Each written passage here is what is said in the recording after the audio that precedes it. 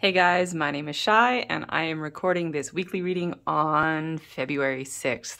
Not a whole lot happening in terms of the astrology of this week, just two things that I wrote down. Um, on the 8th, it's Mars trine Uranus, Mars in Capricorn trine Uranus in Taurus. And honestly, like that's not just a one day thing. That that energy is happening. Like you've already been feeling it for a few days and you're going to be feeling it all week. It's the energy of the the rebel, right? The energy of the rebel. Um and how you how you experience that is really going to depend on how you've been navigating the energies for the last couple of months right?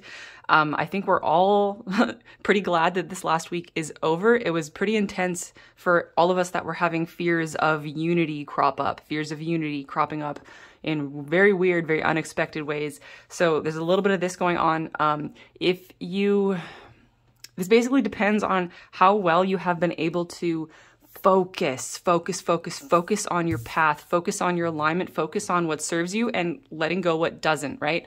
It's like like you're driving a windy mountain road and it's icy and it's a blizzard and you're going really really fast and it's like you can pull off that drive if you focus so so like your whole being needs to be focused not on the cliff, not on the ice, not on all the things that can go wrong, but just focused on staying on your path and just doing your driving, right? That's the level of focus. Um, and the more like the harder it is for you to focus the more you're going to get derailed into those fears and angers right fears and anger the our fears have been bubbling up into anger and even rage and even hate in to, for some people in some experiences of this. So focus, focus, focus, focus. that is that is the antidote to all of this. That is the key, and that is actually why this is happening. It is what we are all learning through this. And um, okay, yeah. and once more for the third and final time of this segment, right? Obviously, Mercury is going to be conjunct Pluto again next year, about a year from now, but it's happening for the third and final time of this chunk of our experience on the 11th. um, I feel like uh, I don't remember when the other Mercury conjunct Plutos were. I know there was one on like the very end of December, the very end of December. So it's a little bit of a re repeating of the, that theme, whatever you were experiencing right around New Year's, the end of the end of the year coming up one more time. But I feel like this is more of a liberating energy, right? If you're really able to tap into these energies and ride them out and focus, then this is all completing the liberation process. This is about really utterly and finally claiming your sovereignty, claiming your sovereignty. You don't want to get stuck down in like the lower vibrations of the rebel where you're just fighting and where you're just self-sacrificing for your cause and maybe your cause isn't even fully in alignment with you. It's it's like is your cause are you really like aligned with your soul? Like is is your is is the cause that you're fighting for? Is it really a soul level um passion or purpose or is it more of like a fear-based ego-based kind of human level cause? So the more you're tuning into your soul's purpose and dropping out of the the, the, the like human level lower frequencies of the rebel then you can use that rebel energy to just become sovereign to just become sovereign. And okay i'm actually going to get something i wrote down a few days ago when the sun and saturn were conjunct and uh, i think it's relevant here Okay, it was funny. I was I didn't know if I was going to share this on a video, but it's really relevant now. This was the epiphany I had. This was my big aha moment. I um I mean, why not? I, why don't I just tell the story? My husband and I had just had sex and we were like lying in bed afterwards. And that is when we experience so many of our like downloads and communication with spirit is like lounging around in bed, you know, in the afterglow. and I keep this, this book, um, in a drawer in the bathroom on my like uh, master bathroom. I jump up and write all this stuff down. So this is something I had to jump out of bed for and write down because it suddenly clarified all of these fears because I was really having fears of unity, like fears of earth-based unity. I was afraid. I felt like people were coming to get me type type of fears, right? And I it for a few moments there, I even had levels of paranoia where I felt like the universe was against me, right? Like it was getting that intense for me. Um, and this, this is my epiphany moment that clarified all of this and I realized in that moment that I had transcended that fear and realized like what it was driving me towards, what realization I was supposed to have with all of this. And this this this learning is going to be going on for us for still a couple more weeks. So I don't know if you can read my chicken scratch here, but this is just so I can see what I wrote.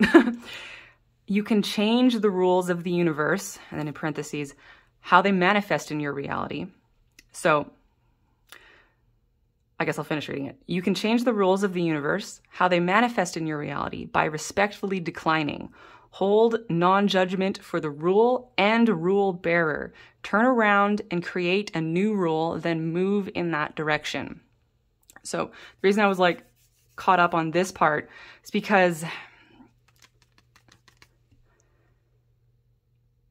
that was a big thing for me because at first I was like, I can't change the rules of the universe. I'm just little old me, right? But you don't need to think about it that way. If you just think about, okay, it's not that you're changing the rules of the universe, it's that you're changing the rules of un- the universe as they manifest in your reality. So that is way more manageable, right? That helped me help me realize that wow, okay, so it's not actually about changing the rules of the universe for everybody in the whole universe. It's just about changing the rules of the universe for me, for my reality. It's like we actually get to select which rules come into our reality. So that's why that was so important. And it just suddenly seemed so clear to me that if the universe seems to be presenting you a rule and this you could be hearing rules of the universe, you know, by reading about, you know, different spiritual influencers, different spiritual teachings, all this stuff, they all come with at the end of the day there are rules to the universe, right? And some of them maybe they don't resonate with you or some of them maybe you really don't understand.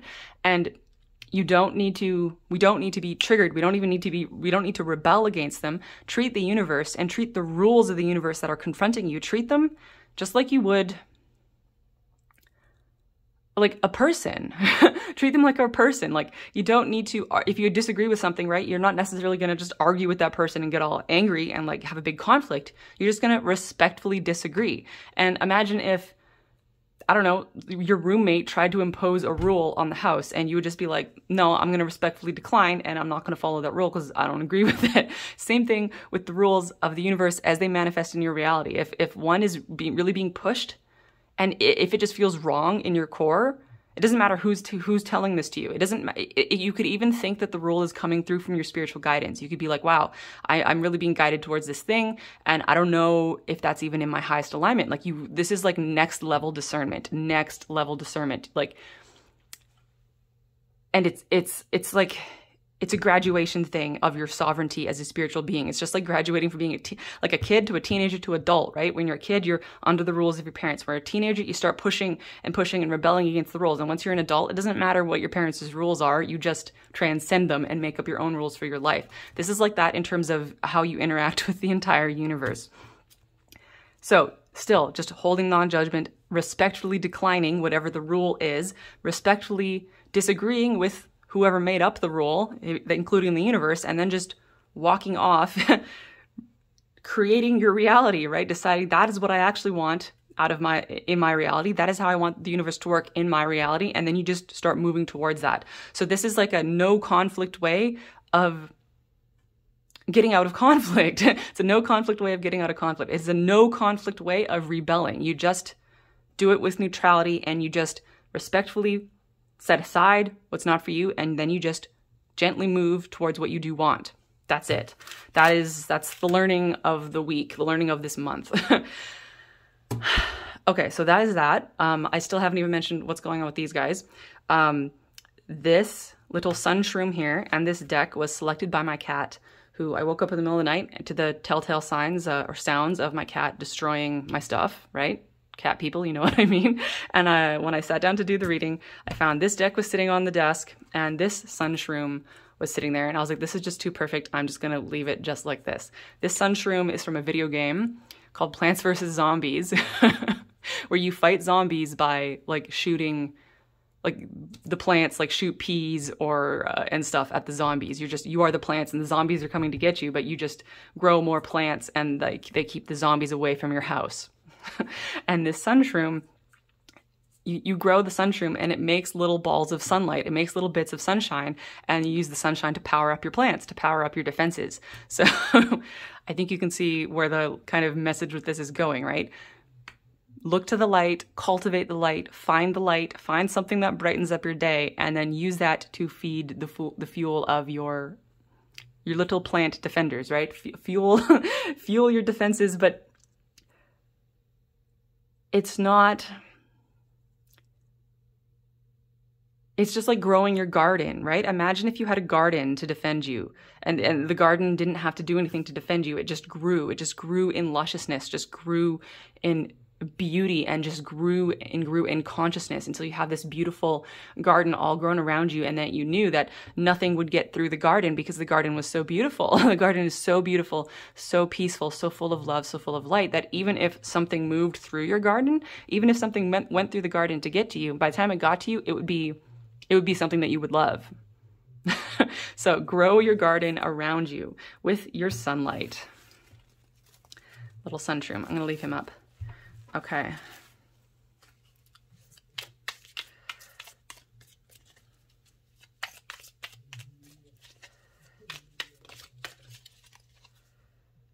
Five of Swords, yeah. So we are coming off of that, right? coming off of that feeling of defeat. Um, and also, the Five of Swords can be like picking up the pieces, picking up the pieces picking up the pieces after a battle, picking up the pieces after heartbreak, picking up the pieces of your life. Because, you know, we are all planets direct, and we are all planets direct for until the end of April. Okay. Um, and how I feel about that is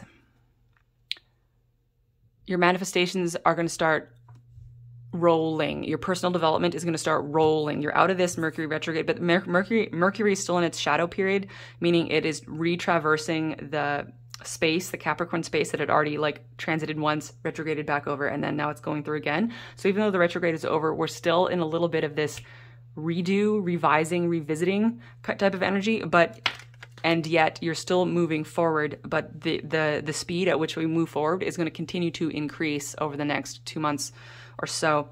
Um, so as you pick up the pieces and as you start putting your life back together, as you start moving forward again, um, with whatever it is in your life that that is relevant. Um, don't push yourself to go too fast, right? It's still Aquarius season and then it's going to be Pisces season. Neither of those energies are very fast. So I think that's a little bit hampering the energy of the all planets direct. When we get into Aries season, then it is going to be an entirely different ballgame of lighting up, like lighting your fire, right? But things are going to slowly start clicking into place very much under the influence of the Taurus North Node, meaning you're going to make a couple steps forward and then there's going to be obstacles and there might be, be delays there might be setbacks but try to celebrate those as actual victories because just imagine imagine you're walking on a road of your manifestations and you're walking walking walking and you can't see all the way ahead um, and then you walk and walk and then you find an obstacle. There's a boulder in your path. It's an obstacle and then it's a setback. And you might think uh like all is lost. Why do i even bother? It's all over. I'm not going to be able to do it. It's like no. It's actually a success that you ran into that obstacle because running into the obstacle is a sign of how far you've come right? That obstacle was always in your path. You just couldn't see it yet. So the fact that you can see it just means, okay, now you just work the problem. This is going to be the best thing you can do for yourself over the next couple of months, even the rest of the whole year. Every time you come up to an obstacle, just work the problem, work the problem. Don't allow yourself to despair. Focus, focus, focus. Keep that laser like focused on just fo- work on the problem and understand that, okay, maybe you wanted this thing to manifest this month, but is it really, in the, the grand scheme of your entire life, is it really make a difference if it takes an extra six months to manifest? Really? No, it doesn't, right? No, it doesn't because you're ascending up out of the time construct anyway. So don't don't worry about how long it takes. Um, just keep working on it one challenge, one setback at a time. Yeah, Ten of Wands. You're putting down, down your burdens and you are working on harvesting something, but look, you haven't quite put the burden down yet, right? Five of Wands, Five of Swords, Ten of Wands. That's a lot of heavy, dense energy. Let's see where this is all going. Okay, I'm only going to take this one because that was the one that popped out. Oh, damn, what do we got here? The Wheel of Fortune and the High Priestess. Okay, I can't put them back in the deck. Okay, so we were wondering, where is this all going? Where is this all going? With your feelings of defeat, maybe a little bit of despair, maybe a bit of facing your fears. Here is the sovereignty that this is all leading towards, right? No longer the rebel, now the empress or the emperor, right? Now you are the ruler. You're graduating from rebel to ruler. You're graduating from sulky teenager who's fighting against the rules to creator of your own reality, right? You are a creator being in human form. You are the empress, the emperor, the ruler. and everything is shifting and moving and grooving in perfect divine harmony. The wheel of fortune. See, all planets direct. Things are starting to shift, but that can feel like up in the air. Um, this is again, the wheel of fortune is focus, focus, focus, because when you're riding the wheel and the wheel is turning, do you want to be on the outside of the wheel? Well, I mean, maybe you can. You can do that. That'll make everything really fast, really insane, really a whirlwind because the outside of the wheel moves so much faster, right? But if you can stay focused, stay centered right at the center of the wheel, then all the chaos will turn around you and you will be centered. So get so centered, so, so, so, so, so, so centered. And then you can be in this weird position where everyone around you seems to be having tower moments and chaos and insanity, but you'll be sitting there going like, wow, everything's pretty okay with me. I'm, I just feel solid. I feel good, right? Focus, focus, focus, focus, focus. High priestess, okay? Trust your gut, trust your intuition. This is even like Trust your intuition over your intuition. Trust your gut over your intuition. Trust your gut over your intuition. Okay. What does that mean? This means that, especially for you guys in particular, since you are so, all of you, so fantastically psychic, intuitive, empathic, tuned in, sensitive to just energy, all of it, right? Um, I get shivers when I say that. You, you guys are like all more tuned in than you give yourself credit for. I promise you, every single one of you. you guys could be receiving guidance that you are ulti- that you that you can that you can disagree with. Like you can disagree with your with your guidance right? If your inner guidance system is sending you a direction or an idea or a rule or an invitation you don't necessarily need to agree, right? You might think that, you know, it's because uh, because you're thinking, okay, I always follow my intuition, right? I always follow my inner guidance. My uh, inner guidance always leads me the right way. That is true, but you're entering a realm of abstraction where you're getting more abstract layers of guidance. Like there's more variety in terms of the streams of data that you're tuning into. There it's like the horizon is opening and you're open up to more suggestions. It's like suddenly you have more guides to put it that way or suddenly you have more friends telling you their ideas, right? And any one of these different ideas that come to you, any one of these streams of guidance, they could all be valid and good, but you don't need to agree with all of them. You don't need to take action on all of them um, an invitation could come through and you could be, you know what, I don't really know about that. I'm going to sit on that. I'm just going to not decide anything about that for a while. And then a few days later, you might realize, wait, wait, wait, no, I'm going to disagree with that guidance. you can do that. Um, so, personal example is uh, a few days ago, I kept feeling, this was like a week ago, I guess, I kept feeling like I was being guided to like make some kind of vow where I dedicated my life to serving the collective. And I remember feeling like on the one hand that resonated and I felt inspired to do that. But on the, on the other hand, I just, I didn't do it. I just kept not doing it. I kept putting it off going, well, like, I don't know if I want to do that. And then I was like, oh, you know, you're just being egotistical. You just don't want to dedicate your life to service and blah, blah, blah, blah, blah a couple days go by and I must have worked on this on the astral when I was asleep because I woke up and suddenly it was like crystal clear. I was like, I don't need to do that. I don't need to make any vows. I don't need to dedicate my life to anything, even dedicating my life to serving the collective. But why would I why would I do that? I understood that that guidance was only coming through, that that little intuitive nudge is only coming through because I have done that in the past, right? So you could have guidance that's coming through basically echoing your past, echoing your past, echoing vows you made in the past life, echoing choices you made in your past life, but you don't need to make those same choices again. Sure, maybe you could do that. Sure, maybe I could have dedicated my life to spiritual service, but the funny thing is, I am going to live a life of spiritual service whether or not I dedicate my life to it. There's no reason to me to actually do that to actually take that step of like tying myself up energetically. Why why would why would i do that?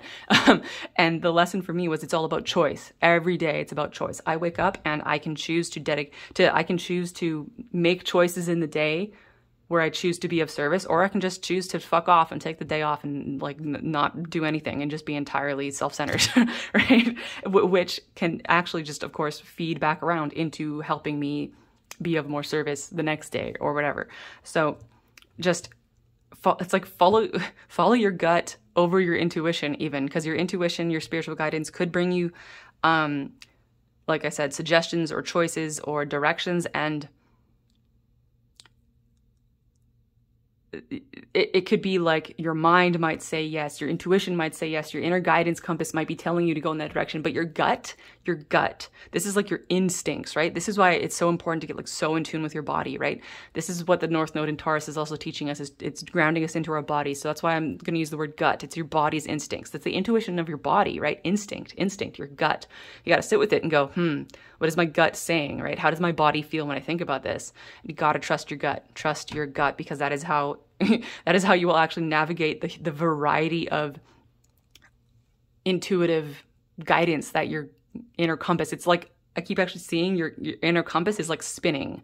Your inner compass is spinning because so much is going on. Um, but that's okay because your gut your gut is solid. Your gut is solid. Your body knows what's up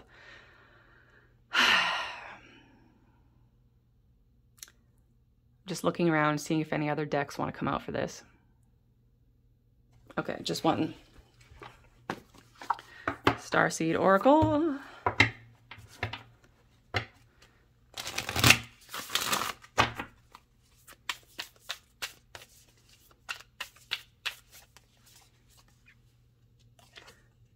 Okay, yeah, two. The Courageous Peony, and All Paths Lead Home. This is my all-time favorite card in this deck. I'll get to that in a second. Now I see why it was like tugging at me, even though I almost never draw two cards right off the top, right? The Courageous Peony, multifaceted, unique nature. Let yourself be seen you are unfolding on a whole new level. And as you unfold, you become the sovereign, you become, become the emperor, the empress, the ruler, right? You become sovereign by unfolding, by unfolding. This is literally just a new level of your unfolding. And it's like multifaceted, right? Multifaceted. That's why you're becoming more various. You're becoming you're like integrating your sub personalities you're integrating all of the different aspects of yourself. You're starting to do more different things in your life and you're also tuning into more different spiritual energies. Everything is opening up. You're becoming more. You're so much more tuned into more which requires a higher level of focus and a higher level of discernment. You know it's just a new level of practicing this. All paths lead home. Guys this is the best card. It almost makes me cry. I I had a dream about this card once, okay? It's inner authority, intuition. Turn your gaze within. Okay, this card, on the one hand, tells you, right? Turn your gaze within, tune into your in, inner intuition, your inner eye, your gut, right? But at the same time, don't stress about it because it's impossible for you to mess this up. It is impossible for you to make a mistake. It is impossible for you to take a wrong turn because all paths lead home all paths lead home. So it doesn't matter if you go left or right. It doesn't matter if you do or don't. It doesn't matter. It doesn't matter. None of it matters. All paths lead home. Every single choice you can make will just take you one step closer to where you're going. That's how it works, right? All paths lead home. Um, and if you ever find yourself in the darkness, in a dark labyrinth, right? If you ever find yourself in a dark labyrinth and you don't know how you got there and you don't know how you get out, just remember this. This is like engrave this into your soul, okay? All paths lead home. Write that on your soul. Keep that with you forever. That is the only thing you need to know. The only thing you need to know as you navigate the cosmos. All paths lead home. Remember that? That means all you need to do. Imagine that you just got your, you woke up and you're in a dark labyrinth. Maybe you can't even see, maybe you're blind, but you can feel the walls on either side of you and you have no idea where to go. You don't know how to you don't know how to get out, you don't know how to get get home. You just one step, one step, one step. You can keep doing that, right? Just one step in front of the other, one step, one step. Maybe you find a dead end. It's fine. All paths lead home. You just go back, you take a new way. All paths lead home. All you need to do is keep moving. That's it. That is the only thing. One step at a time. One step at a time. If you get redirected, then you just keep one stepping at a time that way. if you take her on, if you take a, find a dead end, you just backtrack and then one step ahead in a different way. All paths lead home. You just keep stepping and then you get there. All paths lead home. That's all you need to know. I love you guys and good luck. Bye.